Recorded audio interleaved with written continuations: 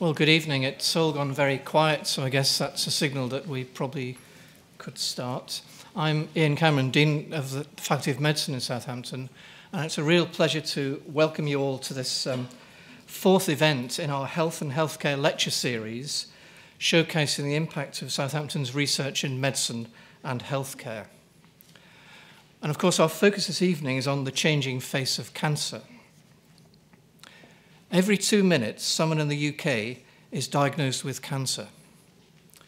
That's a staggering statistic that needs attention and intervention to reduce the number of people whose lives are affected by this traumatic illness that has an impact not only on the individual, but also on their families and their carers. And at Southampton, we've uh, got a strong reputation in cancer research, spanning more than four decades whether it's pioneering the use of the immune system to find and destroy cancer, or developing new approaches to improving the lives of people after they've been treated with cancer, Southampton is a global leader. We work in partnership with some of the best known cancer charities and pharmaceutical and biotech organisations. Our collaborations include working with colleagues at the Francis Crick Institute, and we're home to one of Cancer Research UK's 16 research centres. Over the past 40 years, we've contributed to major advances in, in the cancer research field. And with our new Centre for Cancer Immunology due to open next year, we'll be at the forefront of exciting cancer science discovery for decades to come. And I think, as many of you know, our new Centre for Cancer Immunology is being made possible by a dedicated fundraising campaign aiming to raise £25 million by 2018. And I'm delighted to say we're already more than three quarters of the way there, thanks to overwhelming support uh, for the campaign. And I know that many of our supporters are in the audience this evening. I'd like to extend a really uh, uh, heartfelt thank you to you for your personal contribution and your life-saving generosity. So the format tonight is we're going to hear three keynote lectures from international leaders in cancer research and then we'll have a follow, uh, uh, followed by a panel discussion chaired by my colleague Tim Elliott. So our first speaker this evening will be Professor Sir Bruce Ponder, who is the Emeritus Professor of Oncology at the University of Cambridge and the former Director of the Cancer Research UK Cambridge Institute. Over the past 20 years, Sir Bruce has led the development of, in Cambridge of what is now one of the UK's leading cancer centres – with a particular recent focus on early detection. Professor Ponder is a past president of the British Association for Cancer Research and a member of the board of directors of the American Association for Cancer Research. His research has been recognized by the award of a number of international prizes and by election to membership of the Academy of the American Association for Cancer Research and the European Academy of Cancer Sciences. Professor Ponder is a Fellow of the Academy of Medical Sciences and a Fellow of the Royal Society, and he was knighted in 2008 for his services to medicine. So please join me in welcoming Professor Sir Bruce Ponder, who will deliver his keynote lecture on early detection.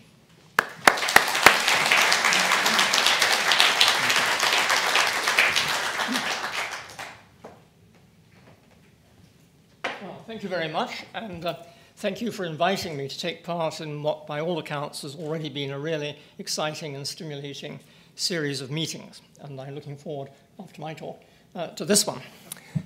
And so my brief is to talk about early detection. But I wasn't quite sure about the breadth of expertise in the audience. So I thought I would start by giving a fairly simple framework to think about how cancers develop. I hope it won't be redundant, but I hope it will uh, help to inform the points that I'm going to make and may possibly also uh, inform the, the talks from the next two speakers.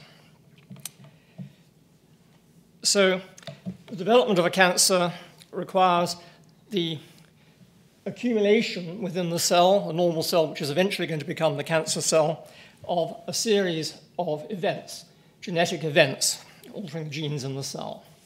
And as the cell accumulates these genetic events, so it becomes less and less responsive to the controls that regulate the organization of our tissues. The cells start to proliferate when they shouldn't, and they also start to lose their spatial uh, relationship with their neighbors.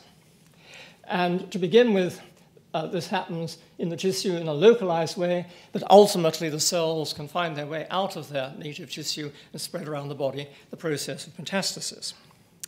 And if we're going to think about prevention, which in fact we're not talking about this evening, then of course most of that is addressed at this early uh, stage of the development of the cancer. When we're thinking about early diagnosis, which is my brief, we're talking about the stages before the cancer develops and then the localized stages. And then, of course, talking about treatment, that can be either localized treatment, which Gillies McKenna is going to talk about, or treatment of the disseminated disease, which Peter Johnson is going to talk about. Now, we know something about the mechanisms by which cancers develop. The causes uh, include lifestyle and environmental factors, for example, just smoking and uh, ultraviolet light, which drive the genetic changes which lead to the cancer cell. You can inherit some of these genetic changes, such as the Angelina Jolie gene, which most of you will be familiar with, but also genes of lesser effect. And we shouldn't forget that chance is also a factor. And this genetics and the effect of the genes on genetic alterations on these cells is now becoming better understood. Less attention until recently has been given to the other side of the equation, which is the response of the host tissue to the emergence of these abnormal cells. And the nature of those responses can either promote the development of the cancer, for example, by new blood vessels being attracted to the cancer, or, of course, it can try to suppress the development of the cancer, for example, by immune responses, which I imagine Peter Johnson will talk about later, and these other factors. And so when we're thinking about early diagnosis, uh, we may get clues from the host response, and when we're thinking about predicting how the cancer is going to evolve and how aggressive it's going to be and about treatment, we need to take into account both halves of this interaction. Now, that's a very simple framework. There are two other elements that I'd like to introduce which are also important. One is the element of time. I've chosen to illustrate this with this graph, which shows uh, rise in smoking. This is cigarette consumption per capita in the UK and the rise in lung cancer incidence per 100,000 population. And the point I want to make is that there is a roughly 30 year separation between these curves. So, what I'm saying is that this process of development of cancer can take quite a long time. And in the context of what we're talking about at the moment, uh, that has two implications. One is that if you're looking for the causes of cancer and things in terms of prevention, then it may be quite difficult because the events that you're looking for have taken place a long time in the past, and it's very difficult to identify them. If you're thinking about early diagnosis, uh, it may also be a problem because you may be wanting to intervene several years before the cancer is actually going to appear. Moreover, most groups at high risk have only about a 1 or 2% chance of getting cancer each year. So you have an elongated time and a small event rate, and that means you're going to need large cohorts of people to follow up to be able to do those studies, and we'll touch on that again uh, later on. And then the other crucial thing is that my diagram was oversimple because it just had one line going along here. But in fact, here we're looking at evolution. And evolution generates diversity and uh, as a result of genetic instability. And the same is going on in the emerging cancer cell. So, a particular cancer, a breast cancer, for example, can come in many different flavors depending on the sequence of genetic events which has led to the cancer. And it can be different between individuals, but it can also be different within different parts of the cancer in the same individual. And that has obvious implications for the treatment of the advanced disease because you may successfully treat this part of the cancer, but this part may be resistant, and I'm sure Peter will come back to that. It's important for the treatment of localized disease because then you're intervening at this point. But your question is has the cancer already spread, or is it truly localized? And is your localized treatment going to be sufficient, or do you need to add something to it? And it's also important for the treatment of earlier stage disease, knowing whether it will spread in the future. Because, as I'll illustrate later, many of the cancers which we detect, or precancers which we detect at an early stage, are never going to evolve into a cancer that threatens the person at all. So the risk of overtreatment is very great unless you can make that distinction. Now, just coming back to the slide I showed a moment or two ago, just one more word about this.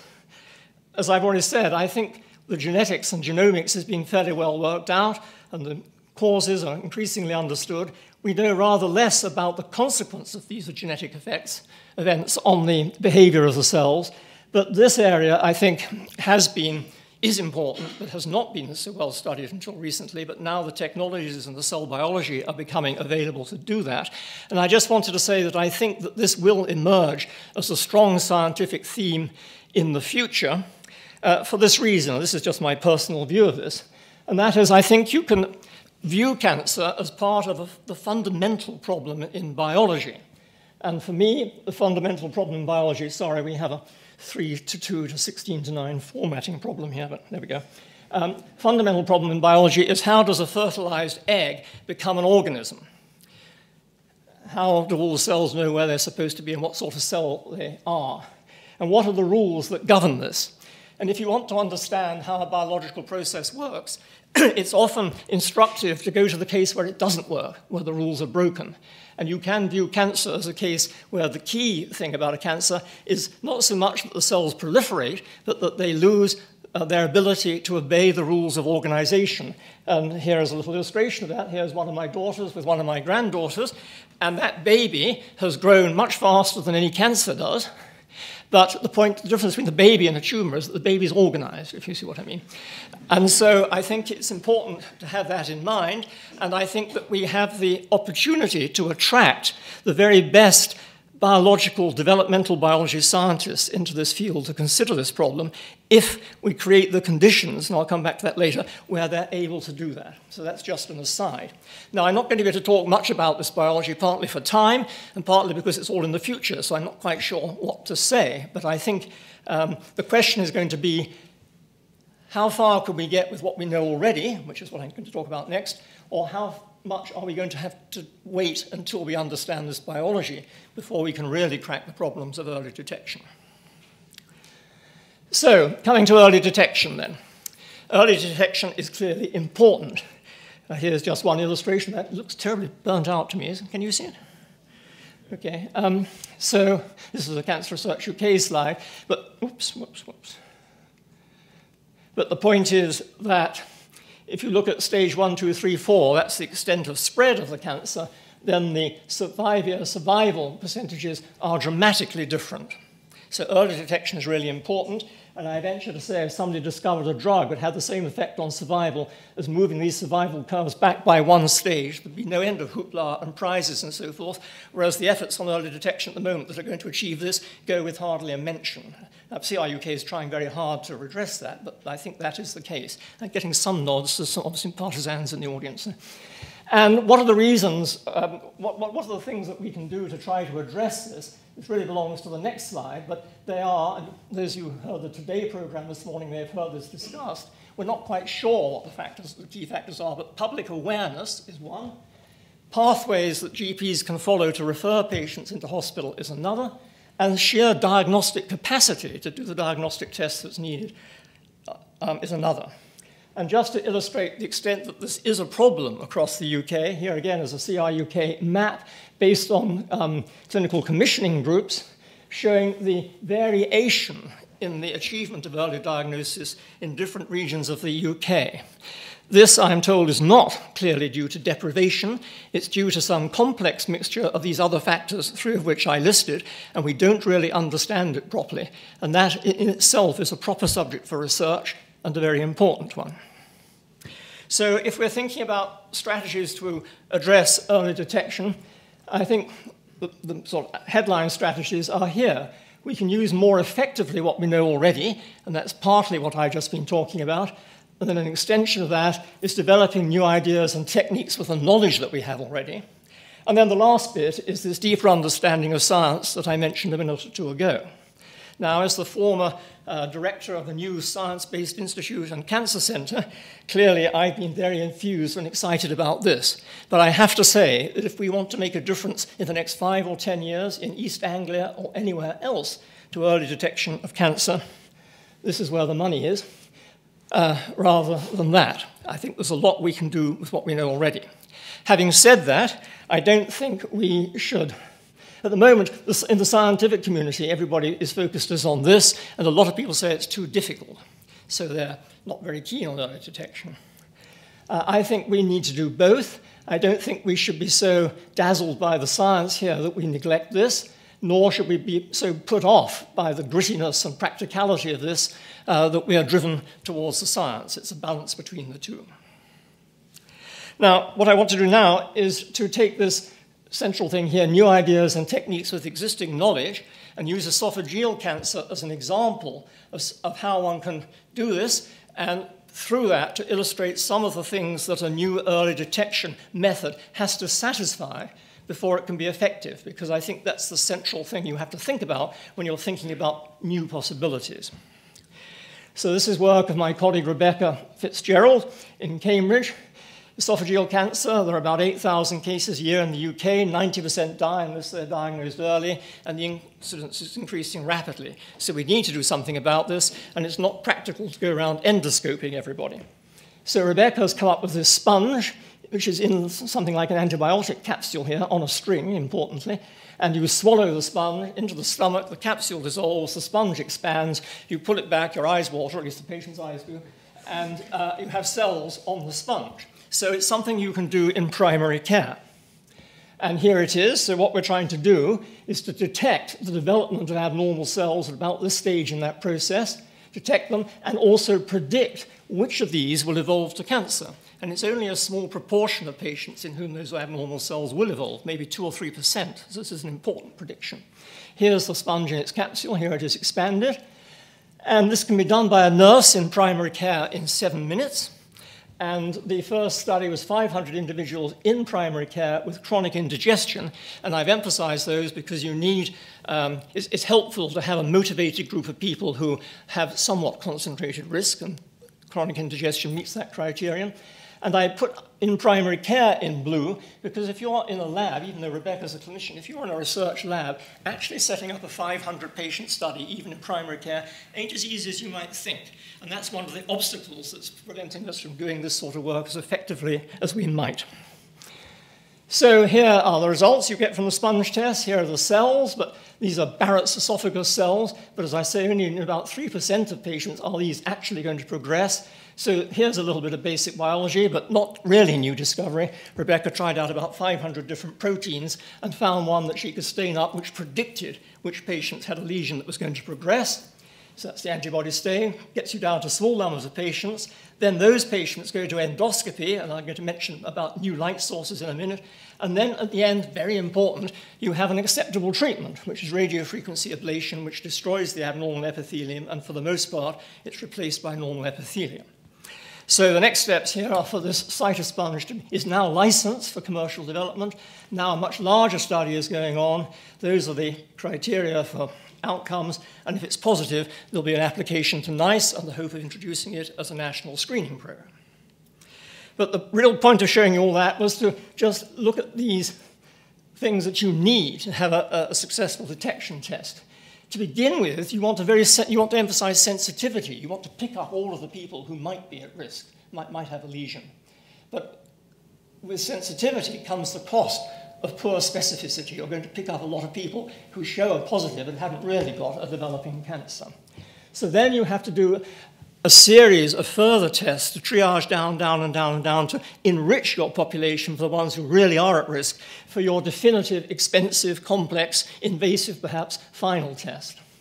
So you need to be able to predict which of these patients are going to have significant disease, and then you need an acceptable treatment.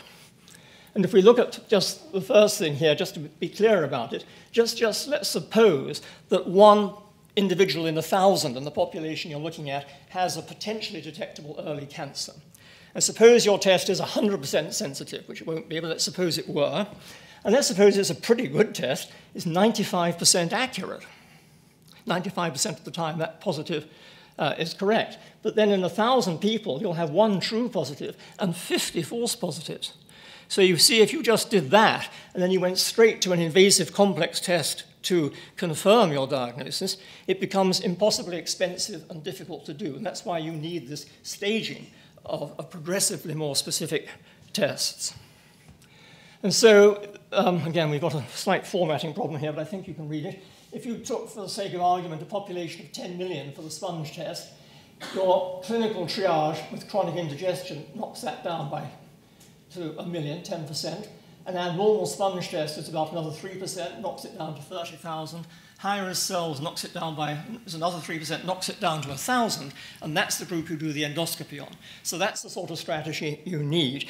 And anything that's going to be practical has to follow something like that scheme. So now, I, again, I've got very limited time, I imagine. Um, but just to finish off, I just want to show you a few other questions and examples from current research. One of them, and I've chosen these rather at random, but one question is should we concentrate on high risk groups or should we try to screen whole populations? You'll hear both discussed. And uh, you can, these are the different ways you could identify high risk groups.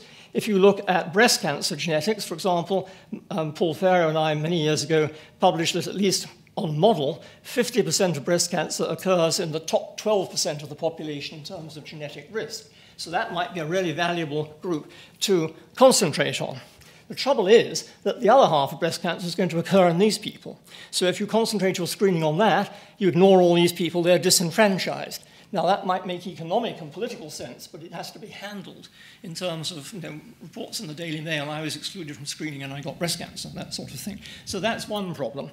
But high risk groups have potentially the gains of motivation, practicality, practicality and cost, fewer false positives. The problem is only a minority of cases. And in any case, again, you're going to need large cohorts. First of all, to discover these factors. Secondly, to validate them. And then third, to validate your effectiveness of your screening. I think I'll skip this. This just shows you the consequences of changing from the current age-based risk screen for breast screening in the UK to one in which you incorporate genetics. And the answer is you incorporate genetics, you include some people younger, some women younger than the standard screening age on genetic grounds, so they, they're helped, if you like, if the screening is effective, but you exclude a lot who are at low genetic risk in the older group, so it's much cheaper because you're doing less screening. But how do you deal with these people that you've excluded from screening? Those are the numbers behind that. Now, another thing is increasingly we're getting involved with physics and chemistry, not just biology and medicine. And these are just two very quick examples of this. There's a company in Cambridge called Owlstone who are using metabolic signals. We're working with them for breath and lung cancer, but they can also look at urine and feces. They started off working with the American government developing hidden explosives in Afghanistan. But they have now shifted to this, and I think they're a very effective company. We don't know yet whether this is going to work, but they're the, the most convincing exponents of this that I've yet seen. And then I mentioned, oops, mentioned the um, endoscopy and we're working with the physicists in Cambridge. This is just an example. This is mouse tissue, in fact, mouse esophageal tissue. There's an early cancer lesion here you can barely see through the microscope. If you put a fluorescent stain on, you can see it a bit better. But if you use an endoscope which has near infrared light and you exploit the coherent properties of the light and polarization, I'm just saying these words, and a computational uh, uh, algorithm at the end, um, then magically you can see a bright spot. So I think there's a lot that can be done, fairly standard known physics, to improve endoscopy. Uh, another one, now we're moving towards screening whole populations. We know quite a lot about the genomics of advanced cancer, and you probably have heard, those of you in the trade, that we can, these cancers are shedding their mutant DNA into the blood, and we can monitor the level of mutant DNA in the blood as a patient relapses and responds to treatment. So can we extend that backwards for early detection? And Illumina is actually talking to Cancer Research UK about a 400,000 person population study to do just that. So for early detection, a blood test, obviously the simplest approach, but look again at what are the specificity problems, and if you get a positive, where is the cancer? Now, I could talk more about that, but I won't now.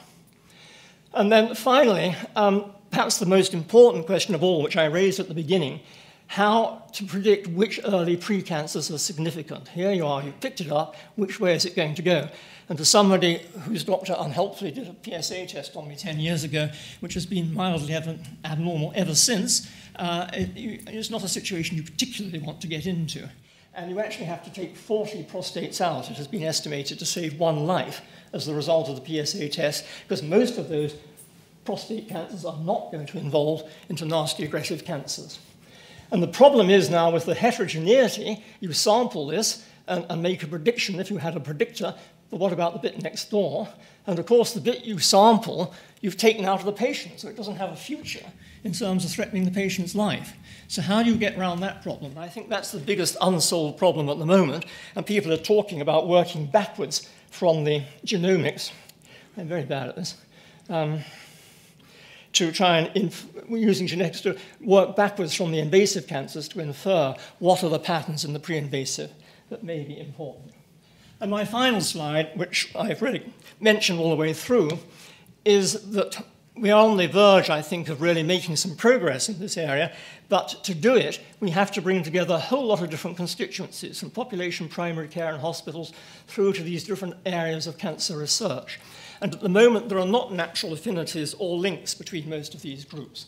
Sally Davies's efforts with the NIHR is helping to build those links, but we've still got some way to go. And in particular, if we're going to engage the scientists, they have to have samples to work on, and that needs to be easier than, still than it already is.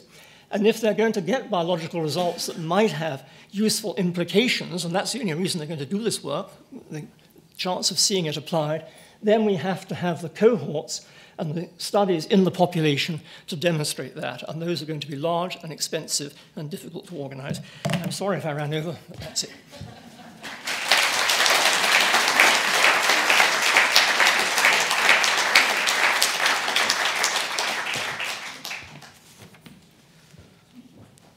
Well, thank you, Bruce, for getting us off to a tremendous start, for highlighting the benefits and challenges of early detection. Um, So we're now going to move a little along that pipeline from the early detection through to treatment. And our next speaker is um, Professor Gillies McKenna, who's a Professor of Radiation Oncology and Biology at the University of Oxford. Professor McKenna's major research interest is the study of the molecular mechanisms underlying the resistance of some cancers to treatment with radiation or chemotherapy. Professor McKenna moved to Oxford in 2005 and is currently the director of the Cancer Research UK Medical Research Council Oxford Institute for Radiation Oncology and is head of the Department of Oncology. He's a fellow of the Royal College of Radiologists, the Academy of Medical Sciences, and of the Institute of Biology. So please welcome Professor Gillis McKenna, who will talk about precision cancer treatment, the hype and the hope.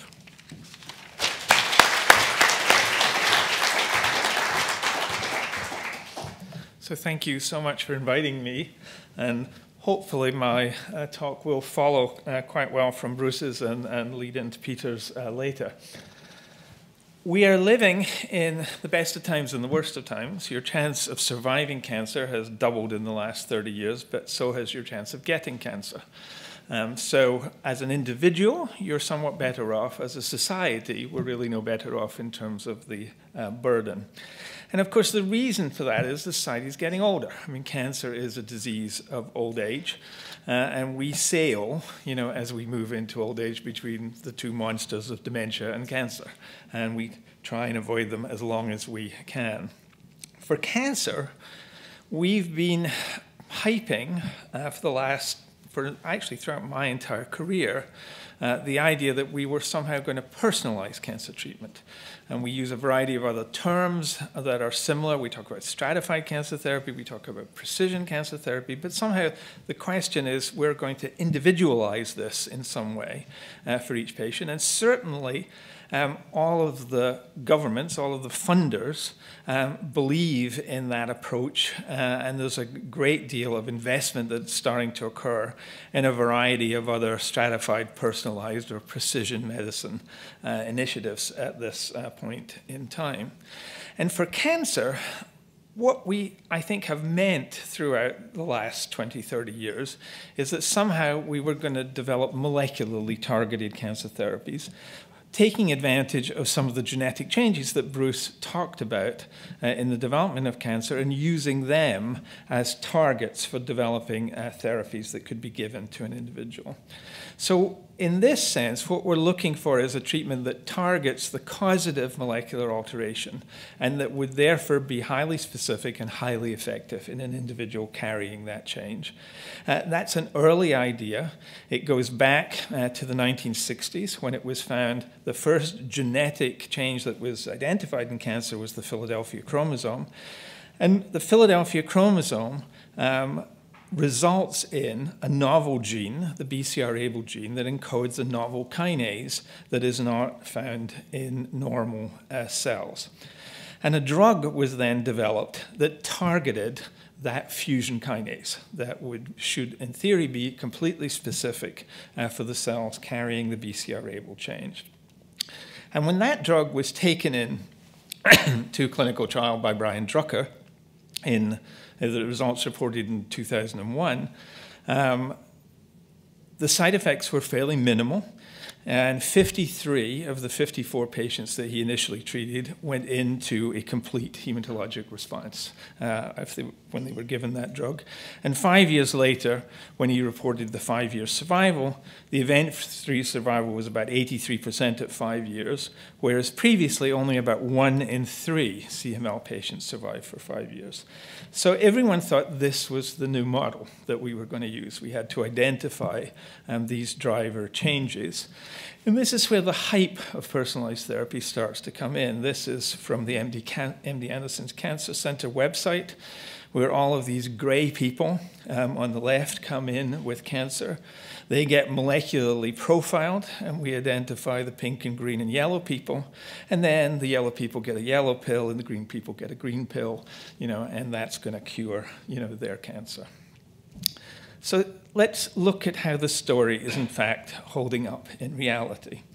So in the last 10 years or so, we've recognized that about 50% of all patients with melanoma are carrying an activating mutation of the BRAF oncogene, uh, which again is unique to that tumor. A number of drug companies are rushed to produce inhibitors of this mutant kinase, and Plexxikon uh, was the first uh, company to get its drug vemurafenib into trial. And when it was given to patients, so here's a patient uh, on your left coming into the trial, all of those nodules that you see are deposits of metastatic melanoma. He's given the drug, and within a few weeks, he looks like the two panels in the middle. Looks exactly like Gleevec. All the lesions have uh, disappeared. So it took about nine years from the identification of this uh, mutation to get a drug into the clinic, which is actually pretty fast these days. However, if you waited a few more weeks, this is what he looked like uh, again. Um, and this took about nine weeks. So all of the patients who, in fact, received this complete remission regressed uh, in about a nine week period. And this really has been the pattern that we have consistently uh, seen.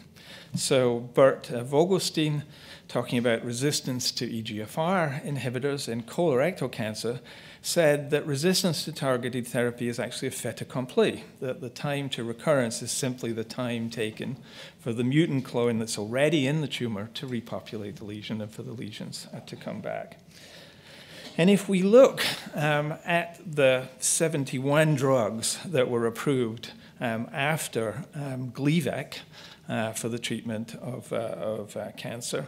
We see that the mean progression free survival benefit for all the 71 drugs is about two and a half months. Uh, the mean overall survival benefit is about 2.1 months, exactly the nine weeks uh, that we saw with uh, vemurafenib. So vemurafenib turns out to be the model that we've seen rather than Gleevec as we've developed these um, targeted agents. And Bruce touched on why we now understand this is.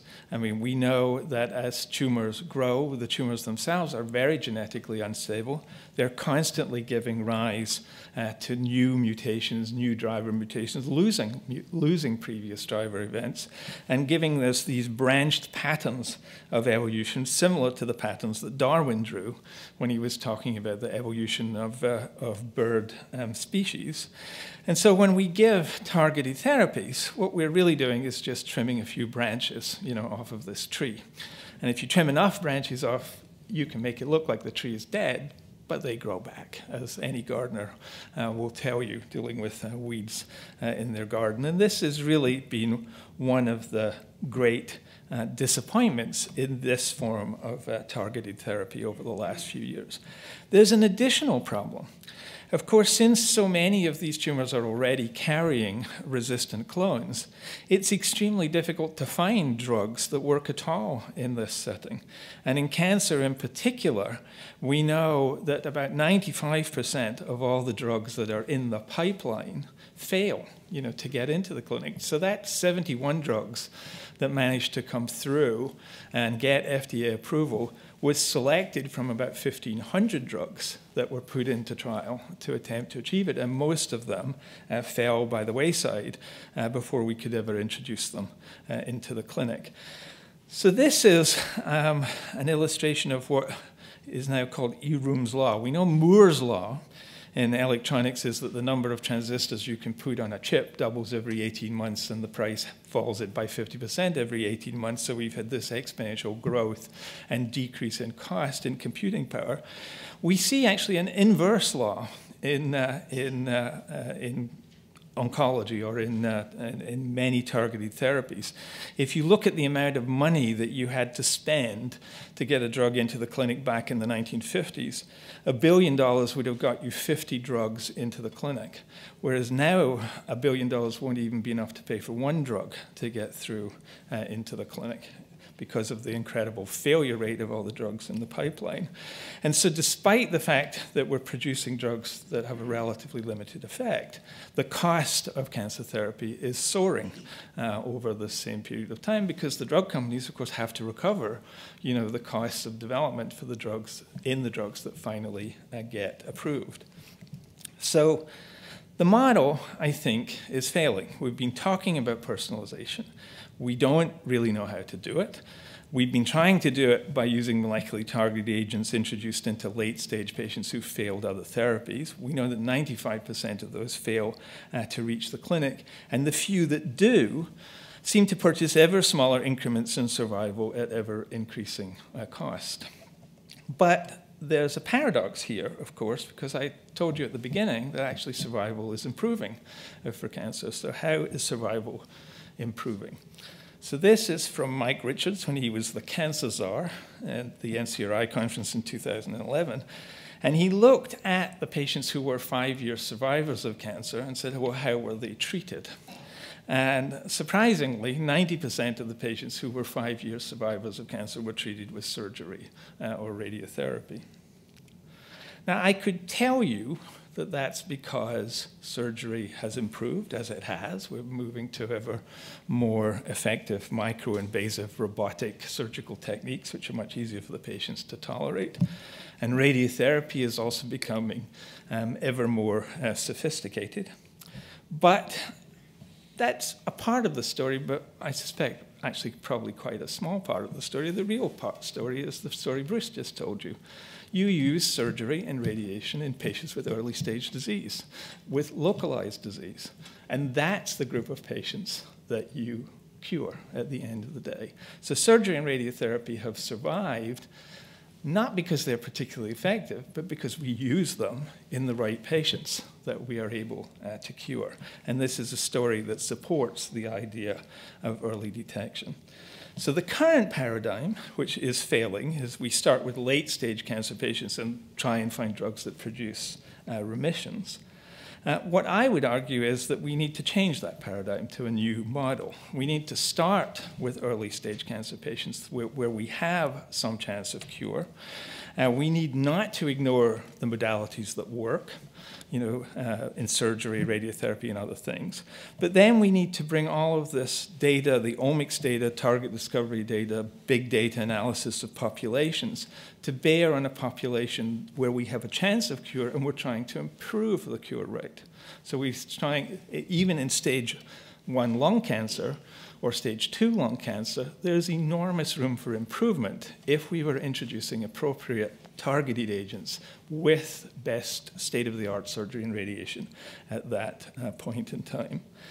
So I think uh, precision cancer medicine has huge scientific challenges, But I do think we have the tools that we're developing to be able to address them. I think it's extremely unlikely uh, that black and white predictors of outcome will uh, come up very often. But I think what we do need to do is to bring all the tools that we know work to bear on improving the outcome of those patients with early stage disease. And it depends on successful earlier detection in new technologies and also using the existing uh, technologies that we have. There are broader societal questions. We're going to give um, a lot of data you know, to the drug companies, to government labs, to other things about uh, our genomics, about our risk, you know, who owns this data? Who do we ask to participate? And as we develop these very precise, very intensive therapies, is there a way that we can make this not simply a therapy for the rich or for the richest countries, but extend those benefits um, more widely globally? So, thank you.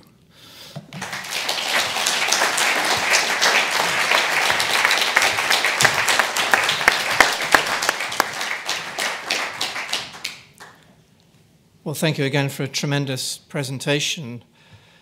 Real significant challenges, but again highlighting the importance of early detection as part of the way that we, um, we challenge cancer. So, our third speaker in this session is my colleague uh, Peter Johnson, who's a professor of medical oncology at the University of Southampton and the chief clinician for Cancer Research UK. Peter took up his chair in Southampton in 1998 where he leads the Southampton Cancer Research UK Centre, responsible for bringing together a broad multidisciplinary group of basic translation and clinical researchers and linking laboratory research to the extensive clinical practice in cancer treatment in the Southampton Cancer Centre. Peter's interests are in the applied immunology and immunotherapy, lymphoma biology, and clinical trials. He's chief investigator for clinical trials ranging from the first in human novel antibody therapeutics to international randomized studies and for the Cancer Research UK Stratified Medicine Programme. So please welcome Peter Johnson, who will be telling us about systemic treatment for cancer, what might be possible. Peter.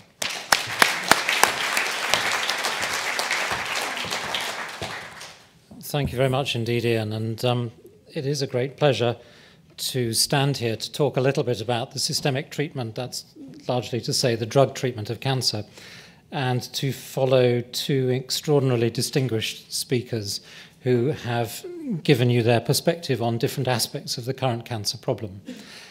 And my task this evening is, is to try and address the last bit of the equation. If we can't detect all cancers early and we can't treat all cancers at an early stage, unfortunately, there will always be some which present at a late stage for which only some form of systemic treatment is available. And the story I want to talk about tonight and the questions I want to address tonight are really about how we go about identifying what can be done, what has been done. Um, so Southampton is a young university, and my distinguished colleagues come from ancient universities. So I thought I'd wrap myself in a little history at the beginning and go back to Francis Bacon, who was thinking at the time when Oxford and Cambridge were around, and Southampton was still a damp swamp.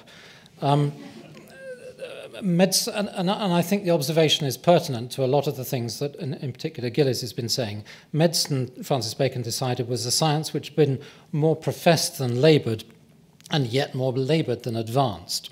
And, I, and, indeed, some of the points Gillies made speak to that.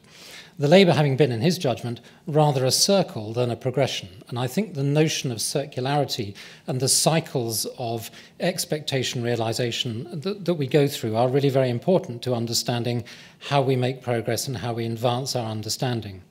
So, the circle of experimental medicine, which I've illustrated here, um, starts here um, up at the idea of a theory. One has a theory about what might work, what might be a susceptible target within a cancer cell, what might be a, a druggable pathway, for example. Uh, and then very often in, in clinical experimentation, we go to a, a, a period of observation. We make the intervention, we give the drug based on our understanding of what the mechanism might be. Uh, and then we very often expand this, and, and, Gillies has made the point very clearly that very often we start with a small observation, the discovery of imatinib as a means of treating um, chronic myeloid leukemia, the idea of targeted therapy, and then as is only human and understandable, we expand it massively. And some of the examples I'll show you, we spend a decade or more trying to find the next example of the thing that we've just discovered. So we expand it massively, and very often in that process, we, we are disappointed by the results of our expansion, and we go through, go over the sort of peak of the hype uh, as we progressively refine our understanding and refine the ability to predict who's likely to benefit and who isn't likely to benefit. And very often in this process, we also refine our understanding of the mechanisms of action. Uh, and finally, we arrive at, at, at an improved understanding of what the biology is, of what the treatment might achieve. And each time we go around this cycle, hopefully, we slightly advance the cause and we slightly improve the outcomes of our treatment for people with the illnesses concerned. And this is a familiar pattern in, in all walks of medicine, but it's, I think, particularly uh, apparent in cancer medicine. And I want to tell you four brief vignettes from the stories of systemic treatment um, set in four years that I've, that I've set out here. Uh, the background pictures are simply scientific context rather than what I'm going to talk about. So 1978, which was the year of the first test tube baby, uh, 1997, which was the year that Dolly the sheep was cloned and, and came into the world. 2001, which was the year that Paul Nurse, Tim Hunt, and Leland Hartwell won the Nobel Prize for understanding cell cycle control. And 2011, when um, the late Ralph Steinman won his Nobel Prize for understanding dendritic cell biology and how antigens are presented to the immune system. And so, as I say, this is simply background context for four of the molecules that I want to talk about this evening. And, and I think this is a, an illustrative story of, of progression in some ways, going back to the theme of enlightenment from darkness into light, from rather empirical medical science into more mechanism driven understanding. So the first of these examples, 1978, um, was the licensing of cisplatin, uh, the molecular structure, very simple, shown here. And this was transformative for people with testicular cancer, for whom, once it was an advanced stage, and in most people it was at an advanced stage, it was a fatal illness during the 1960s and early 1970s.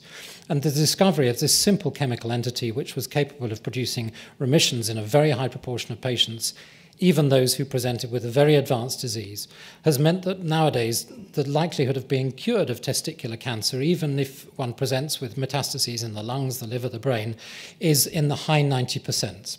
So this is a story of great success based upon some empirical observations. In fact, the original observation was that platinum electrodes killed the bacteria that were close to them in a, in a, in an electrophoretic bath but essentially moving from that through a lot of empirical clinical science to the refinement of the use of this agent, which is still in very widespread use for particularly testicular cancer and a variety of other things today.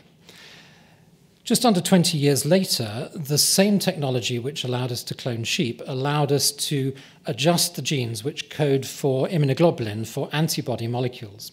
So, up until that point, we'd produced monoclonal antibodies in mice, which meant that the protein that was produced was entirely mouse protein. This meant that it had a very short survival if you gave it to human beings, that it was very quickly recognized as a foreign protein. Uh, and a theme which I'll come back to the whole point of one's immune system is to recognize otherness, to recognize a danger signal. And it was extremely good at clearing out these antibodies that we gave to humans in the 1990s before the time when we could change the molecule. So, this molecule, rituximab, which was licensed first in 1997, shows here the red portions, which are the human genes, which we've used to code for a large portion of the antibody. And the only mouse bit which is left are the uh, bits on the end of the antibody which recognize the antigen to which it sticks. So this is an engineered an- antibody, and this was the first of the anti cancer antibodies to enter routine clinical practice and to obtain its license. And I'll come back a little bit more to what we know about how that works and, and, and what its impact has been. Gillies has already told you about the impact of imatinib, which obtained its license in 2001. This is the molecular structure which sits in the active site of the Abelson kinase enzyme, which is translocated in the Philadelphia chromosome and constitutively activated in the myeloid cell series, which give rise to chronic myeloid leukemia. And the discovery that the administration of this small chemical entity available as a tablet, orally bioavailable, could return to normal the bone marrow of people who previously had been subjected to what was largely palliative treatment with, with molecules like hydroxyurea and was curable in only a very few cases of the people who were young enough and fit enough to have an allogeneic transplant. That we could return the bone marrow of these people to normal with a simple tablet, extremely well tolerated, and that they have remained well ever since in the great majority of cases, was absolutely an exemplar of the sort of idea which led to all the interest and excitement, and, and as Gillies has highlighted, the overexcitement of the idea of molecularly targeted treatment.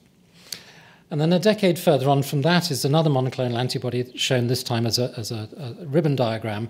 And this is the molecular structure of a molecule called ipilimumab, which is an antibody which targets not the cancer cells themselves this time, but the switches of the body's immune system. And I'll talk a bit more about what that does and, and why we're interested in that.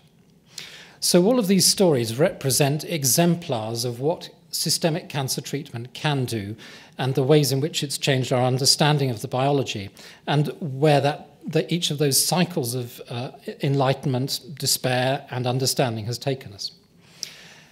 And for all of these, the important point is to have a plausible mechanism, uh, and it's a very good starting point. Um, It is, however, very important to recognise that the plausible mechanism is only a, a starting point in this, in this case. So rituximab, the molecule I just showed you, which was licensed in, in 1997, is a chimeric antibody which sticks to a molecule called CD20, which is present on the surface of all our B lymphocytes.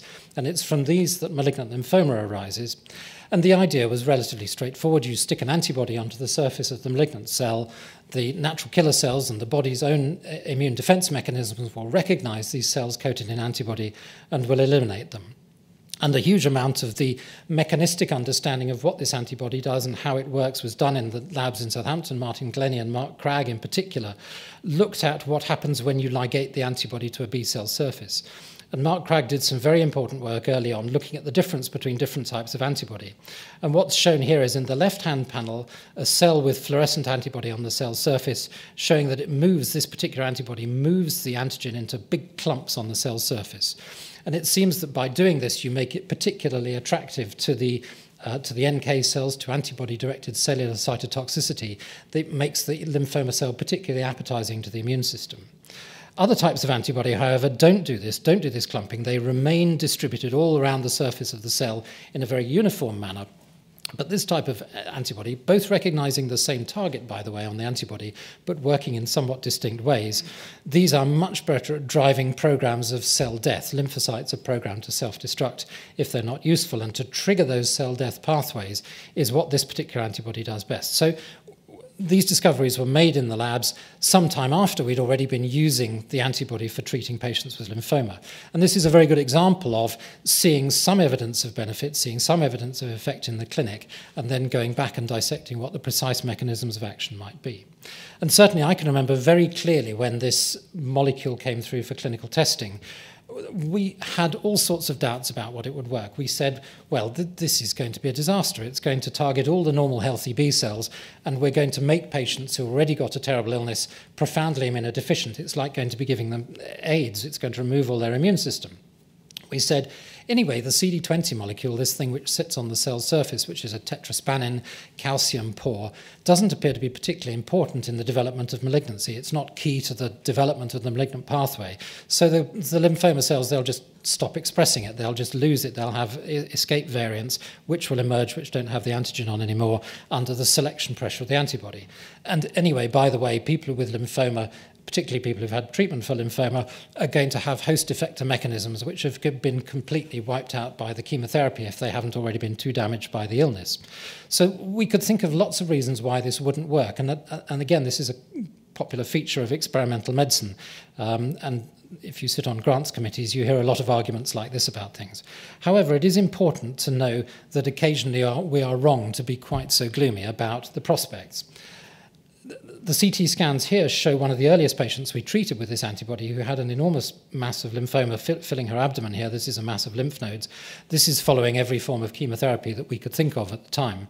And following four weeks of treatment with this antibody, just one injection once a week, what we saw was a progressive diminution in size of these lymph nodes over a period of uh, about six weeks. And they shrank and they stayed shrunk and in fact, uh, she stayed out of trouble. Her lymphoma didn't come back, and, and she died of a heart attack about 10, 15 years later without it ever recurring. So these early clinical experiments led us to think that this, despite all our objections and our, and our misgivings, might actually be something that was effective. And indeed, when we started to look at its wider use in large cohorts of patients, we saw that it really was genuinely effective. So the survival curves at the bottom here illustrate the survival from one of the most aggressive types of lymphoma, diffuse large B-cell lymphoma, which we has historically managed to cure in a proportion of patients by giving combination chemotherapy. So this survival curve shows you that 50% of patients or so are alive three years from the time of their diagnosis with conventional chemotherapy. And this was very much the, the standard of, of, of results that we saw prior to the use of this antibody. As soon as we started combining this antibody with the chemotherapy, we saw a dramatic uplift in the numbers of patients who were cured. So this is not a randomized trial, this is two areas of treatment. This was before we started using it, this was after we started including it in the treatment. And what you can see is that the cure rate there has notched up from around 50% to around 75, 80% simply by the introduction of this one molecule into, into the treatment pathway. So we can see that there are plausible mechanisms, there are worries about how it might work, but in the end, you have to get on and do the clinical experiments. And just to illustrate the effects of these four molecules on the likelihood of surviving cancer, what I've put here are the, uh, in the same positions as before. The overall mortality figures for the UK population following the introductions of these treatments. So this is the mortality. So pale blue is men, uh, pink is, is females, and the purple is, is everybody. So in testicular cancer, you can see here the mortality rate per 100,000 was, was just over one before we introduced cisplatin, and this has tailed off very quickly to, to very nearly zero. Um, and, and this is, by the way, despite an increasing incidence. So this is the numbers of people dying. So you have to factor in the fact that, that this illness was becoming more common. So a big effect on the likelihood of people dying from testicular cancer. Similarly, this is the survival figures for non-Hodgkin's lymphoma, which were rising progressively and since the late 1990s, when we introduced rituximab, have actually been falling off somewhat. And again, this is despite a very rapidly rising incidence, particularly in older people, uh, which we're at a loss to explain epidemiologically. So again, we've seen a progressive separation between incidence and mortality from lymphoma, really largely as a result of the introduction of this one treatment. This is the mortality rates from chronic myeloid leukemia, which you can see go off a cliff after we introduce kinase inhibitors targeting the Abelson kinase. And this is the last example. This is ipilimumab, and clearly it's very much too soon to tell what this will do to our mortality rates from melanoma. And again, we have a very rapidly rising incidence of melanoma thanks to all sorts of factors, but particularly um, low-cost foreign holidays and sunbeds. Um, so what we hope to see is similar effects on this survival curve in due course. And certainly the idea of targeting the switches of the immune system and using antibodies as specific molecules to, to throw the switches on the immune system is something which is very current and, and very popular. Um, to very briefly digress into the, into the putative mechanisms of this, this, the idea here is that this is the T cell. This is the key cell at the heart of immune responses to cancers. And normally what happens is if, if you show a T cell uh, a cancer antigen on, on something like a dendritic cell, a professional antigen presenting cell, the T cell, when it becomes activated here, very rapidly upregulates and expresses on its surface a variety of damping molecules, of, of inhibitory molecules, uh, the one illustrated here is a thing called CTLA4, whose effect is to, is to really damp down the immune response. The idea is that your immune response can accelerate very fast and then is equally quickly damped, because in most cases, what it's dealing with is an infectious disease, and you want your immune system to, to quieten down once it's dealt with the threat. And the very simple e- experiment that we've been doing is to use an antibody which specifically blocks this interaction. Effectively, it sits on the off switch and prevents it from being activated, so that instead of being suppressed, this T cell now carries on being activated and being energized. Um, and this, as I say, was first licensed in 2011, but it's clear that it's had quite a big impact on the ways that we think about treating cancer. Part of that, it has to be said parenthetically, is for the reasons that Gillies outlined, which is that there's been some disappointment about the small molecule targeted therapies and the, the pictures of the melanoma going away and coming back again are very influential in the way that we think about this illness when we have this kind of treatment available. So this is some of the results of treating patients with advanced melanoma, metastatic melanoma, such as the person that Gillies showed you, with this ipilimumab, this, this rather simple experiment of simply cutting the brakes on the immune system and, and then seeing what happens. And this is the survival curve for patients with metastatic melanoma treated with ipilimumab on its own.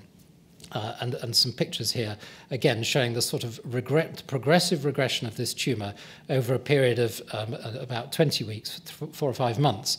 Whoa, um, and, and again mirrored by the CT scan, the disappearance of this large subcutaneous mass. And interestingly, what you see when, when you follow up larger numbers of patients is that there is a proportion, it is un unfortunately still only a, a relatively minor proportion, about 20% of patients, where the melanoma has disappeared and doesn't come back. And the, and the horizontal axis you can see here has a 10 year time frame on it 120 months, 10 years. And these patients, so far as we can see, their melanoma has gone and it's very unlikely to come back. The advantage of an immune response against a tumour is that we think it may get round some of the problems of heterogeneity and evolution that, that you've already heard about, which is that if you can get the immune system locked onto a tumour, then even if the tumour varies its colours to some extent, by the process by which immune system responses spread out and start to recognise different features of the same cells, it may be possible for them to track the tumour immunologically.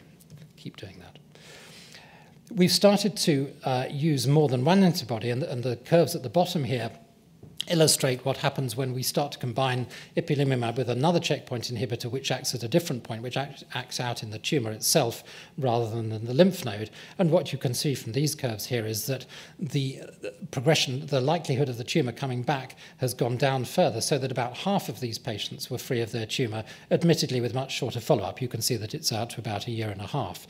But again, if we can start to see these regressions and the, the sort of regression which is shown in the CT scan here, this is a, this is a, a massive melanoma which this unfortunate lady had going all the way from her, her rib cage to, to the outside of the chest, which after a, a, two treatments with this combination had completely disappeared, leaving just a wound which, which progressively healed up. So this is potentially very potent and potentially very long-lasting treatment, which is a, a different feature again of the type of systemic treatment for cancer. Now, clearly there's a question about both how this works and for whom this might work, and I'm showing you melanoma because this is one of the, the examples in which it appears to work best. And we're starting to grapple with the question of what it is the immune system can see and why it is recognizing particular cancers. What this diagram shows is spread out along the, the horizontal is a number of different types of cancer. Uh, and the vertical axis is the number of mutations um, per million base pairs of DNA. So what you can see from this is that there are some types of cancer acute lymphoblastic leukemia, acute myeloid leukemia down at the left-hand end here, which have relatively few mutations. And then the cancers up at the right-hand end here, such as melanoma, have lots of mutations in, induced by ultraviolet irradiation, lung cancer, obviously, by the carcinogens in tobacco smoke, similarly bladder cancer. So, and it's not an accident, I think, that the cancers which are most susceptible to immune treatment are these ones which carry the highest mutational burden. And we're starting to see evidence that the more mutated the cancers are, the more likely by chance they are to make proteins which are abnormal as well. So the DNA is mutated, this gets turned into abnormal proteins.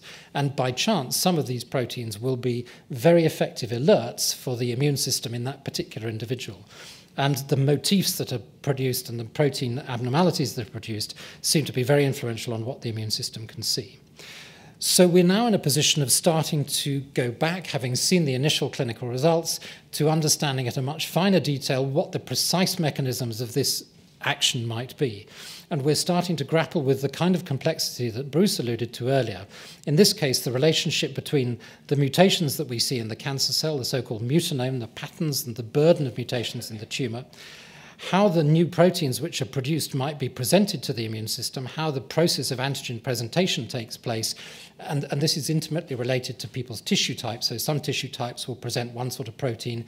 There are different um, polymorphisms which predispose you to presenting one antigen better than another.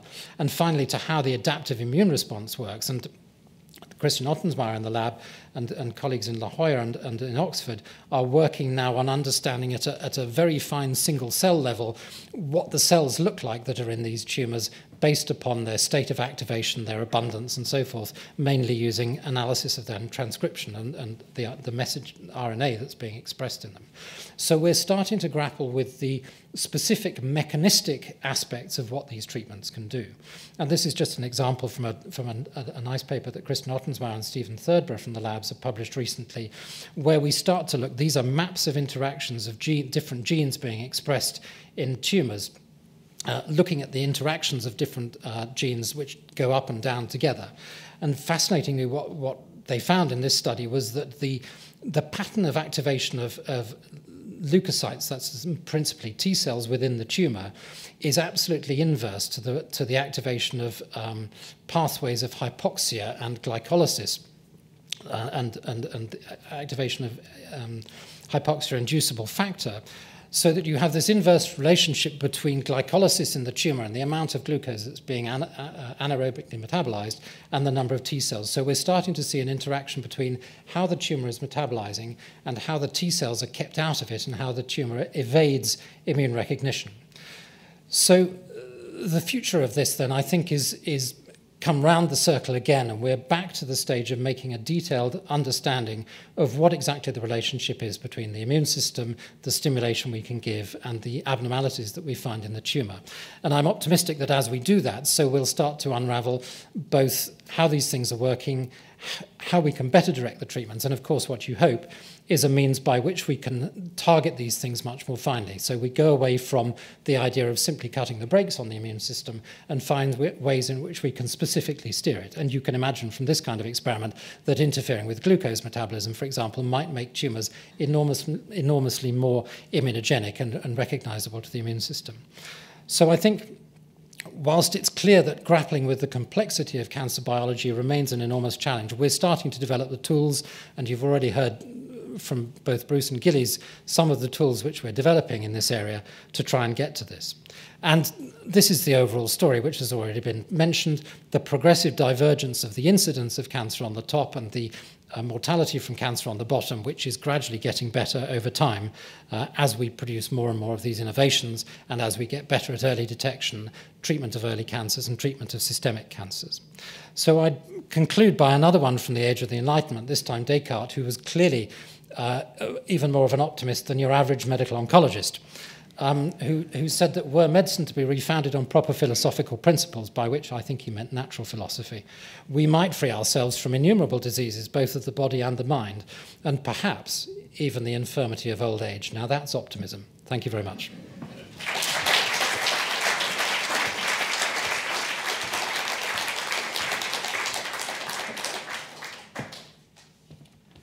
Well, thank you again very much, Peter. Um, a vivid illustration of the impact of basic scientific discovery on creating new potential uh, therapies, and again showing us something of the, the recent remarkable results with some patients in terms of treatment with immunotherapy.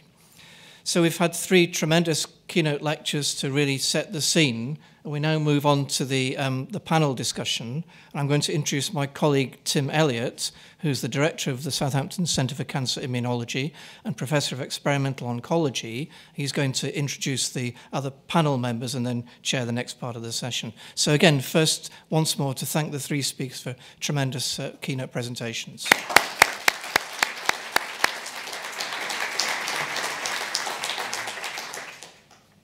Thank you very much, Ian. Um, if we could call up our first uh, panel members, our speakers, um, then there'll be less of a, a rugby scrum when I call up the rest. Before um, I start the, uh, the panel discussion, I just wanted to say um, a few words about, first of all, uh, what a terrific opportunity this is to uh, um, to hear three of uh, the UK, if not the world's leading experts in this uh, particular area. As director of the new Centre for Cancer Immunology, um, it's a real pleasure for me to uh, uh chair this session, um, particularly since Southampton's a, got a long track record um, in um, um, making discoveries in basic uh, uh, cancer science, cancer immunology in particular, and taking them into uh, the first uh, clinical trials, use, using these discoveries for the first time in, uh, in humans. Now, this is not something that's happened overnight. Uh, we have a, um, a long legacy of cancer uh, immunology in Southampton that goes back more than 40 years, I think, to when um, George and Frida Stevenson were recruited from Oxford to set up the Tenevis uh, Research um, uh, Institute, um, then the, the Tenevis Lymphoma Institute. Um, now, George and Frieda were some of the um, first people in the world to recognize that you could use the molecular identity of a cancer to get uh, the immune system to pick them out, uh, these cancer cells, um, as something that's uh, foreign and get rid of them. Since then, uh, as we've heard from Peter, our expertise in immunology um, in immunotherapies has grown enormously. And we're putting all our energies uh, in Southampton into three main areas of research, some of which uh, Peter's uh, touched on. First is um, using these molecular differences to, um, uh, to target cancers, cancers directly with um, uh, monoclonal antibodies. The second is to get uh, killer T cells uh, uh, woken up and killing uh, cancers. Um, and the third is to develop uh, cancer vaccines to use either therapeutically or in combination with some of the uh, antibody therapies that Peter um, has talked about. And we see some amazing results uh, in clinical trials. Um, as many as half our patients with uh, some difficult cancers to treat um, um, uh, historically, such as lung and, and skin cancer, um, showing really dramatic imp uh, effects uh, in response to these uh, new immunotherapeutic uh, approaches. So the new Centre for Cancer Immunology, which will open um, next year, will allow us to uh, expand uh, this activity, um, recruit more scientists to the area, and conduct uh, even more uh, of these life-saving uh, clinical trials. Being the first centre of its kind in the UK is also very exciting. Um, and to echo um, Ian's uh, words earlier, we're really grateful to uh, to all the campaign support that we've had um, so far over the past 18 months. We're raising um, all the money for this new uh, institute um, through philanthropy. Um, and much of that generosity has come from uh, people in this room. So if you're one of them, uh, then thank you very much for uh, your contribution. Okay, so joining um, Sir Bruce Ponder and Gillies McKenna and Peter Johnson here on the stage, I'd like to uh, welcome up uh, Professor uh, Teresa Wiseman, who is Clinical Professor of Applied Health Research at the University of Southampton, and to Charlotte Moss, who is a very important member of, of the panel as uh, one of our clinical trials patients. First of all, if I could introduce uh, um, uh, uh Professor Wiseman, who, as I said, is clinical prof- professor of applied health research uh, in cancer care at the University of Southampton and holds a joint appointment at uh, the Royal Marsden um, NHS Foundation Trust. Um, Teresa holds a clinical ac academic appointment, which means that she combines her clinical practice uh, and with research. And her research uh, centers on the patient and the carer experience uh, of cancer and uh, cancer treatment uh, and developing services and interventions that enhance this experience. Teresa is a board member uh, of the European Oncology Nursing Society and a member of the um, research advisory group of that society. She's an international member of the Australian and New Zealand Urology Research um, Faculty.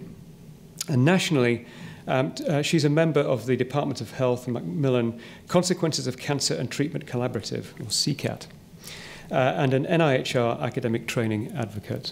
So, welcome to the panel, Teresa. Charlotte Moss is one of our clinical trial patients.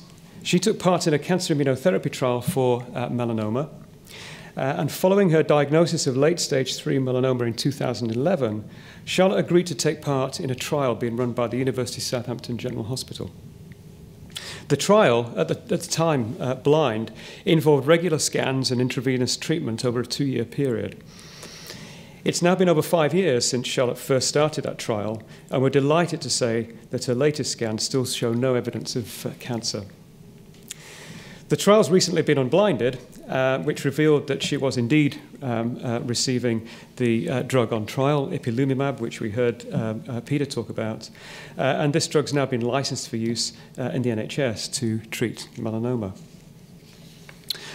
So thank you very much for um, uh, taking questions. The way we'll um, uh, do this is I'll probably kick off with a couple of uh, questions to get the ball rolling.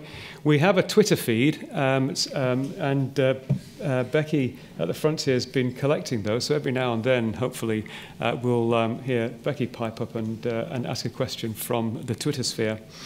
Um, and then, of course, um, the floor is, is yours. Um, if you want to ask a question, uh, just put your hand up. We've got a couple of roving mics.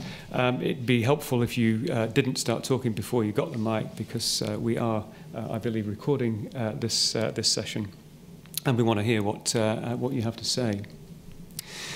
Um, so if I could get the, uh, the ball rolling by uh, perhaps picking up on, on Peter's last slide, but it also um, is uh, uh relevant to, uh, I think, um, uh, Sir Bruce's and Gillies' final slide, which is um, what we think the population will look like in 20 years' time, over the next uh, 20 years' time, we're going to see a very different uh, uh, demo, uh, demographic to the one that we have at the moment. Uh, and I, I guess uh, what I'd like to, to ask uh, the, the panel is how they think that this new demographic is going to impact on the way we research, diagnose, uh, and treat cancer. Um, if I could probably offer that to Sir Bruce um, first, and then. Uh, Thank you. Bruce, you've had the longest to think I about see it. Peter bribed.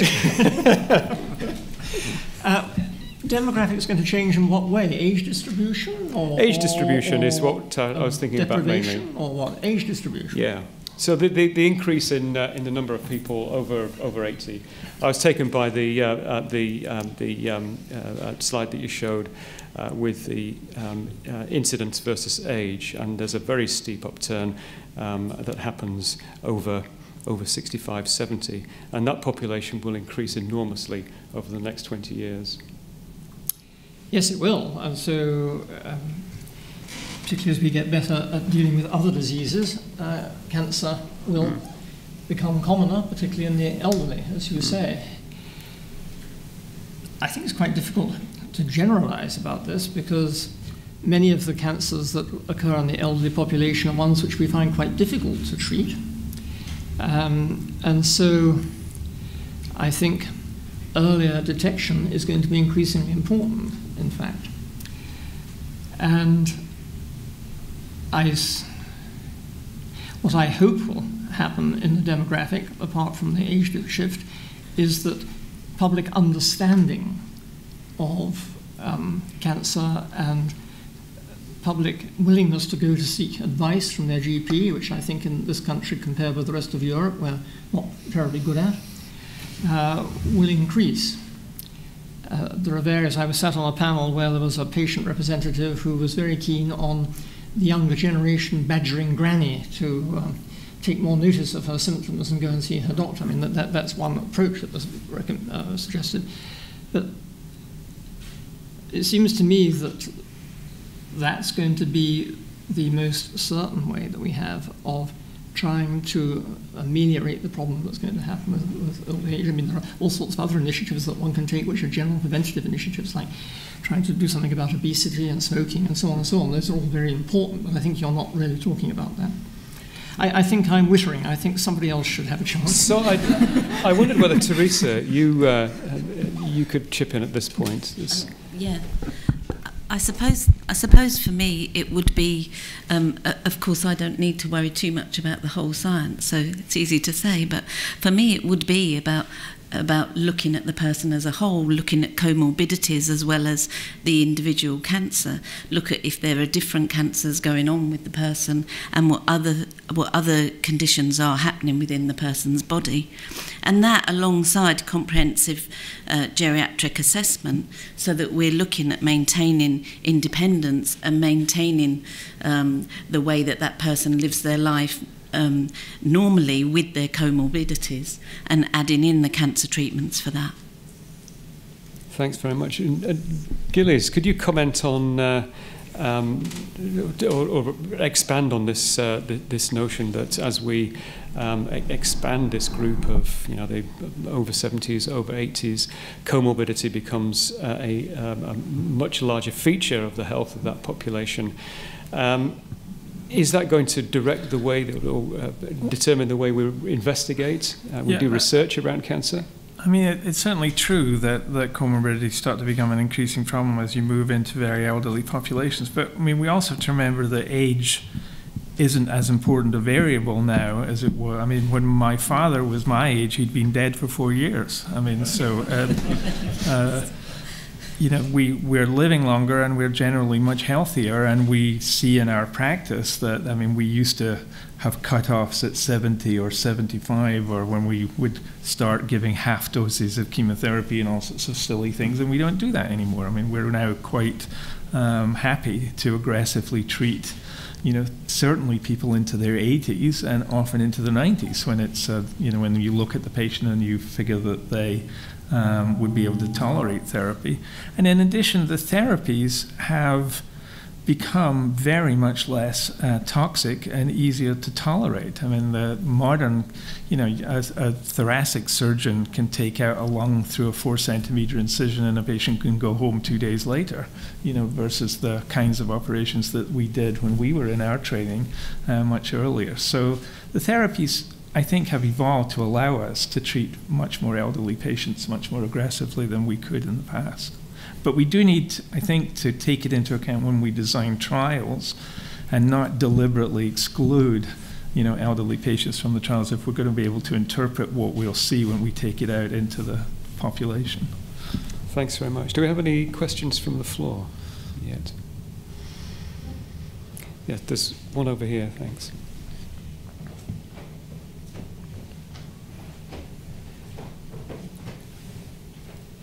Thank you. Teller O'Brien, University of Southampton Council. In this early detection, the issue is going to be around the, the GPs. And I mean, we have a problem at the moment, one understands, that GPs find it very difficult to pick up the right symptoms at the early stage. As we get more and more of the older population putting this strain on the system, um, how are we going to get those? I don't know, techniques for the GP to help the GPs cope with this coming Can say demand. something to that. Yeah, Bruce can take that. Uh, and maybe other people from Cancer Research UK, if they're here, can say something to it. But th- this is really what was at the heart of the, the couple of slides I showed about the clinical commissioning groups and early detection. And one component of it is G, you know, most people that come to a GP with their vague symptoms haven't got cancer. How, how, how can you help the GP to spot the one who really might uh, uh, and prioritise those for referral, given that resources are limited? And Cancer Research UK, I know, is taking a number of initiatives in this area. One of them is to make a, a fairly rigorous assessment of the predictive value of different symptoms and their combinations and come up with algorithms which will help GPs make that call. And secondly, they, they've set up a whole um, set of GP practice facilitators who actually have been who go to visit GP practices and discuss with them these sorts of problems and how they can cope with them and, and how they can improve the referral pathways and the access to diagnostics. And you might think that GPs would resent having young people coming and telling them how to do that, but that's not the case. I, I, I think they're extremely well received, and I can't quote the figures off the top of my head, but I have seen the data which show that as a result uh, of, of these facilitators, the diagnosis, early diagnosis rates in the practices that have had facilitators are improving. So I think there are a number of measures like that that will have to be taken. But the problem is, I mean, I'm not an expert on this, I'm not a social scientist, I'm a geneticist actually, but um, it, it seems to me that the problem is that there is there are rather few data from the health service um, about exactly where these problems are. And the first thing to do is to try and establish more clearly where the bottlenecks are in this process of patient going to see somebody about their symptoms, the GP or whoever recognizing that these might matter, being able to get an appointment for an X-ray at a hospital, which is pretty difficult, um, and so forth. And where are the bottlenecks, and what is the cause of them? And then one can have a rational approach to doing something about it. And I think, as I say, I, again, I know that Cancer Research UK. I, I recently joined the trustees, so I now have an insight that I didn't have when I was a scientist, and I'm impressed at the scale of the, res- of the research and the effort that Cancer Research UK is putting into this. Peter, you wanted to comment. Then I want to bring in Yes, I- Charlotte to comment. uh, Just, later. just, just briefly to make the observation that that Bruce is absolutely right. It's a, it's a massively difficult problem in primary care. And historically, we've calibrated our health system in a way to keep people out of secondary care, investigations, expensive hospitals, and tests, uh, which works terrifically well for low back pain, but which is, works extremely badly for cancer. And, and it does require some recalibration of how we make it easier for people to access healthcare. And, and we probably shouldn't miss the opportunity of the fact that my colleague Richard Roope, who, who works for the Royal College of General Practitioners and Cancer Research UK as our GP lead, is in the audience, who I guess may want to say a word about this particular issue. Yes, it's. Uh, I work with Peter. I've been in role for about two and a half years. It's an amazing, uh, amazingly exciting time. Um, in the last five years, one of the parameters that we look at is the uh, number of cancer cases that present through A and E, because we know they do much, much worse. And in the last five years, we've dropped that from 25% of all cancer cases down to 20%. So that's uh, still a long way to go, but it just shows how the engagement with primary care does really bear fruit. And uh, we heard earlier that uh, the science is amazing, but actually the social science will also bear fruit very quickly. And Cancer Research is hugely, Cancer Research UK is hugely committed to engaging with uh, primary care. Uh, they have a fantastic team of facilitators and also GP leads uh, in a program called uh, the, the Health Professional Engagement Program, and that's going from strength to strength. Uh, we have a road show that goes out, uh, one uh, called the Cascade Program, where we upskill and inform our facilitators and GP leads, and the other called the Faculty Program, which is a a program linked with the Royal College of GPs where we do a road show and we get anything between 50 and 150 GPs attending where we upskill them with uh, the skills for early diagnosis and appropriate management. So a very exciting time at the social science end and the translational uh, end of how we turn research into practice. So Thank you. Charlotte, would you like to comment from a patient perspective? Uh, yes, um, it's it's an interesting discussion because when I um, when I first noticed a, a very small, very innocent-looking mole on my right leg, I, I initially uh, wasn't that concerned because it was it just looked so innocent. There was a very minor change, and it, it's generally very very surprising that something that is seemingly so insignificant can be so life-threatening.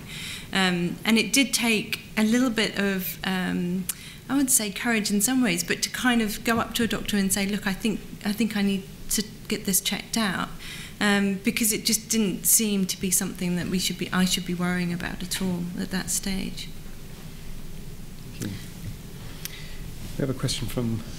Yeah, it's a question um, maybe relevant for your new centre. Um, um, Gillies gave us a very sobering uh, analysis of the hype and the hope of targeted therapy, which I'm sure is correct. And the question is what the lessons are from that, how to avoid um, immunotherapy falling into the same trap in five or ten years' time, because there's certainly a lot of hype and a lot of hope. Um, so it may be a question for Peter and Gillies. Excellent question. I'd, much as I'd like to answer it myself, I'll hand over to uh, my colleague Peter. Yeah, I, I, th- I think you're absolutely right, Stan, and I and I have said in other fora that I think we probably are at peak hype as far as immunotherapy is concerned already. Um, and there is a sobering realization of the tumour types for which this works and the tumour types for which this appears much less effective at the moment. And, and in the end, all we can do is go back to the understanding of the science and the, the understanding of the mechanisms at the very basic level to, ena- to enable us both to recognize what the limitations are and also to recognize what the potential growth points are.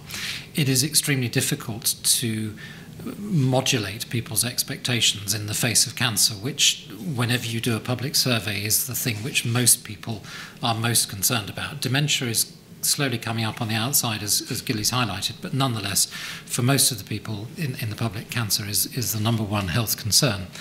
And anything which appears to offer um, hope or, or some change in treatment inevitably gets taken up, blown up, and for all sorts of commercial reasons on the part of pharmaceutical companies, funding organizations, patients' organizations, inevitably gets overtaken. So I think it is very important to remain sober and reflective about the, the possibilities but also the limitations of these types of treatment. Gillies? Yeah, I, I, I, I wouldn't want anyone to take away from my talk that I thought that the search for molecularly targeted agents was futile. Um, I've spent my entire career looking for molecularly targeted agents that would work, you know, uh, would, would improve therapy. But I think what we have been doing is going about the search for them the wrong way, and we've been trying to introduce them into practice in the wrong way, you know, as solitary agents that would eliminate, you know, the need uh, for um, other therapies. And I think the platinum story is quite illustrative in that regard. I mean, it's true that platinum first sort of hit oncologists' imagination because of its absolutely dramatic effects in testicular cancer.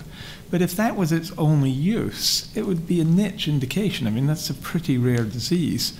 But it's when we realized that we could effectively combine platinum with radiation and with other agents in lung cancer, in head and neck cancer, in cervical cancer, that we began to really realize the full benefits of what I, I totally agree was a paradigm changing drug. I mean, pl- platinum is irreplaceable at this uh, point in time. And I think that one of the dangers um, with immunotherapy is if we continue with sort of magical bullet thinking that we're looking for an agent that will we can use to eliminate other therapies. I mean, if if if you think of um, the, I mean, the immune system evolved to deal with infectious diseases. But the real breakthrough in infectious diseases was when the antibiotics came along, the cytotoxic agents. They didn't reduce the need for the immune system, they just reduced the bacterial burden to the level that the immune system could clean it up. Um, and I think, uh, I hope, we start to explore trials of using some of these immune agents in similar settings, uh, post-surgery, um, combined, you know, with have some very intriguing results using um, hypofractionated radiation to prime the tumors for you know immune interventions. So I think we need to be a little more creative in terms of how we develop these therapies and a little more open to thinking of them in a combined modality setting in appropriate stages of disease. Thanks. I think we have a comment on that point from uh, someone in the audience there. If you could uh, introduce yourself when you get the mic, please. Hi, um, Tim Underwood. I'm an esophageal surgeon in Southampton, and I was just about to ask the question that you've just answered, Gillies, about how we combine the treatment modality that actually is going to cure people if they're going to be cured of cancer currently, which is surgery, and is used in over half, well, about half of people that have cancer, with emerging modalities. We spend a lot of time obsessing about the next molecule or immune drug, um, but we're going to have to combine them with surgery if we're going to have long-term cures in patients. And that's a view of a surgeon. I'm biased. I completely agree with that. I mean, uh, we we try and combine, you know, surgery with postoperative radiation when there are positive margins of I think that that works some of the time. It's not ineffective, but I suspect there could be an enormous role for, you know, immune agents being used after massive cytoreductive surgery one further comment was going to be that we currently use surgery with locally advanced disease only, or so we think in staging. But actually, where we're going to move to, I think, is using what we call cytoreductive surgery, and not in the sense that we currently uh, imagine it, but doing bigger operations where we actively leave disease burden behind to be mopped up by the treatment modalities. And we have to be willing to take on those trials of surgery now that's difficult when surgeons are forced to publish their outcome data um, and are judged on their clearance of tumour as we currently are. Now, that may be too broad a topic to take on now, but it's important we have to understand how we as a healthcare service are going to be judged. Teresa, I wonder if you might want to respond to that. I, I agree, actually. I, I do think that um, some of the national audits and, and the, the topics for the national audits do, do need looking at again. Um, we've just put in for a, a, a, an NIHR grant uh, with the University of Southampton um, look, looking at national audits and how it is that we can, one, represent the the information fairly or somehow make it more fair, but also that we can use that the information to improve our service, not as a stick and as you say, as a, as a very sort of um, arbitrary uh, measure. Thanks very much. We have uh, a question, I think, from uh, from the Twitter sphere.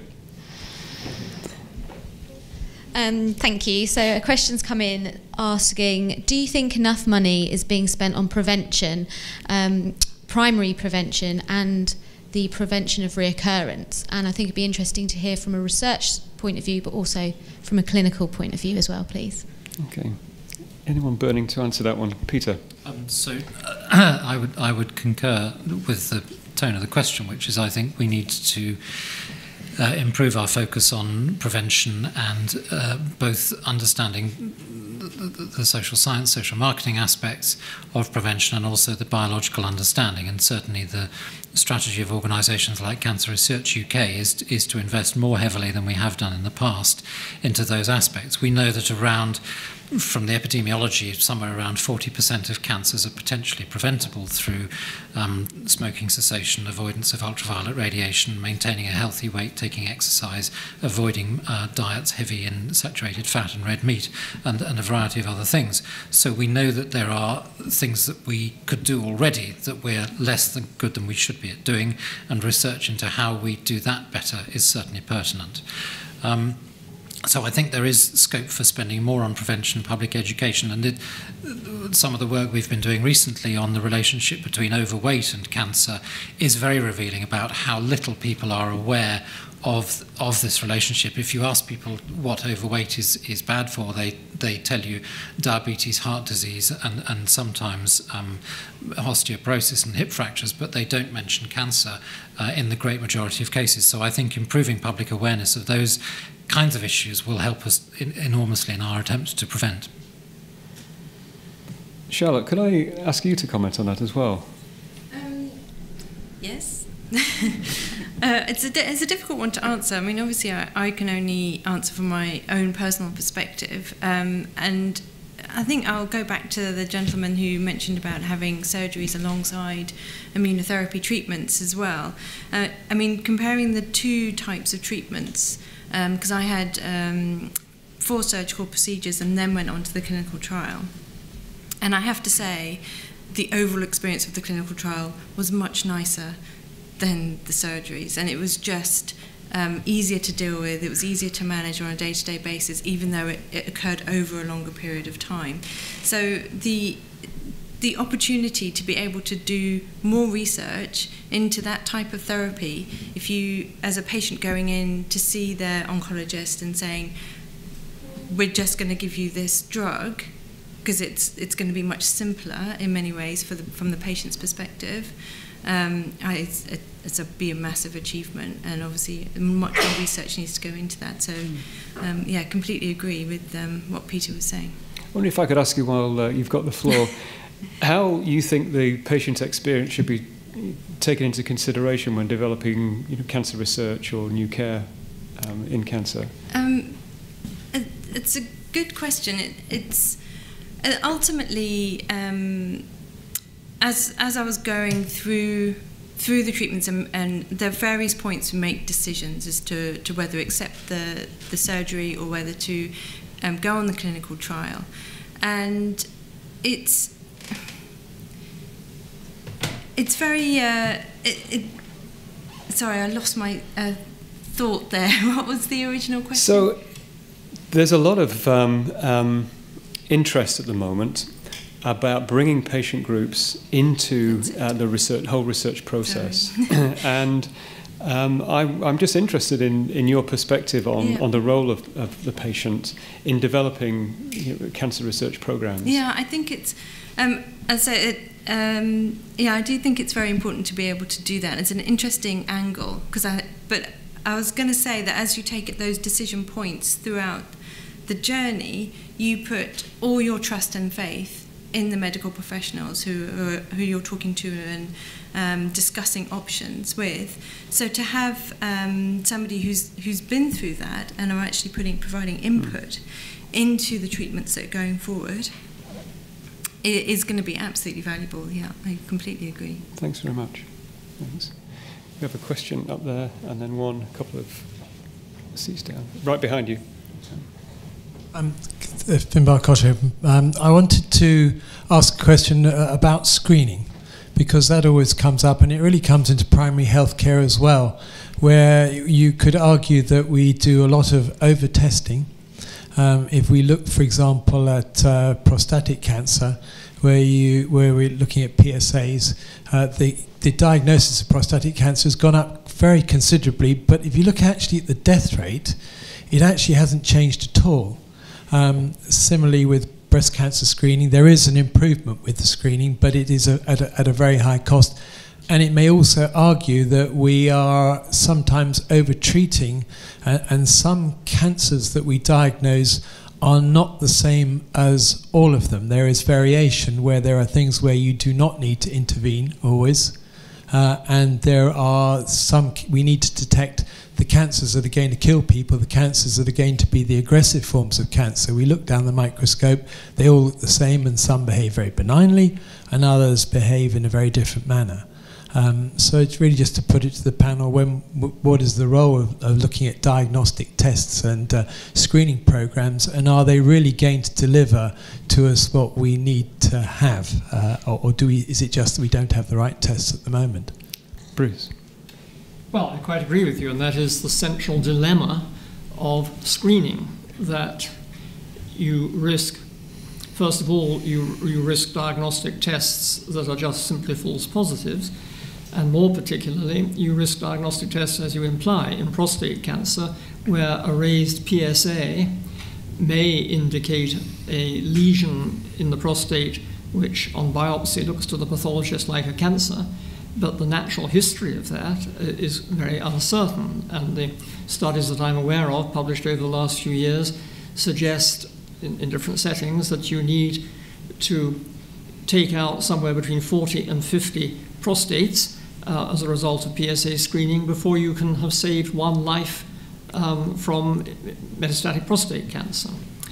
And so there's all sorts of lines to pursue in this, but I think the central question is how do we distinguish better which lesion that looks like a cancer under the microscope really has um, aggressive potential and which doesn't?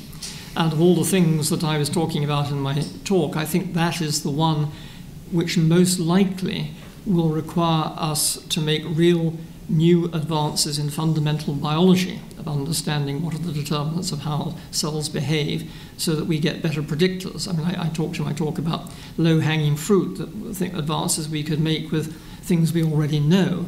But it's not clear to me, actually. Um, I suggested one way of tracking back with the genomics we already know from the characteristics of an invasive cancer to see what the characteristics of a pre invasive cancer would be. I don't know if that'll work. But it, it seems to me that this is the biggest gap in our understanding of cancer is what are the determinants of the future course of a lesion. And uh, as again I said, um, the problem is that in studying the lesion you destroy it. And so it's very hard to know what the future of that lesion would have been. So that, that's the central answer. Uh, whether it's a good thing to have prostate screening or not, um, that's people argue about that. Some countries do, some don't personally, my view is that there should be a degree of, of, of individual choice, of course, but um, in general, it's better to concentrate on people who are at somewhat increased risk because that reduces the proportion of false positives. You will have the people are motivated more, they will perhaps understand better what the issues are. Um, breast cancer, I mean, again, you can argue about the merits of breast cancer screening. One of the arguments that has been made strongly in the last year or two is that, again, women should know what they're letting themselves in for, and what we don't explain to them sufficiently clearly in the screening programs is what the potential downside of screening is. And I think that's a fair point. How many of the population would want to take on those considerations, I don't know, but I, I think people are not very well informed. Somebody else want to add to that? Well, we have uh, two more questions in the audience. I'm quite keen to take both of them. The first uh, um, there, and then th- um, three rows down in exactly the same place. You get the mic. Uh, could I ask the panel speakers, please, for their views on the current status of largely commercial tests which are available for supposedly personalizing and stratifying treatment, uh, such as one name amongst many, Caris, and where they feel they fit, if anywhere, in the current guidance of patients' treatments, bearing in mind that quite often patients are keen to pay thousands of pounds for these tests themselves. I know that Bruce will want to, something well, to say I, on I this. I want to address yeah. it in relation to yeah. inherited susceptibility. Yeah. I leave the somatic stuff to these two guys. Do you want me to talk about that? Um, I think Gillies. Gillies. Oh. I'll come back to you first. that came out wrong. Um, I mean, I think there's two two questions. I mean, there are you know tests like 23andMe and things where you can buy uh, for 120 pounds, and they'll tell you your risk for developing uh, various diseases and tumors. And I suspect, I mean, there's a little tiny bit of science there, but I suspect a lot of it is bogus and is hype and is creating unnecessary, you know, anxiety. I mean, maybe if you want to know that 17% of your genes were from Sweden and three were from Scotland or whatever, it might be useful. I'm not sure it's bogus science. I think the problem is in the interpretation. Uh, genetics is a, a matter of probability, and most people don't appreciate sufficiently the probabilistic element of it. And so if your risk is increased by 10%, 10% of hmm. 0.5% ain't very much.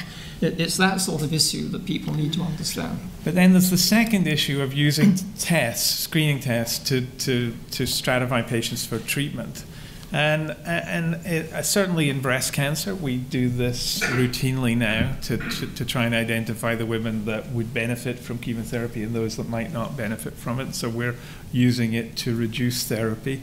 Um, my colleagues, I mean, if you look at, at postoperative radiation for breast cancer, we know that in fact only about 30% of the women will recur, so you're treating 70, 70% unnecessarily.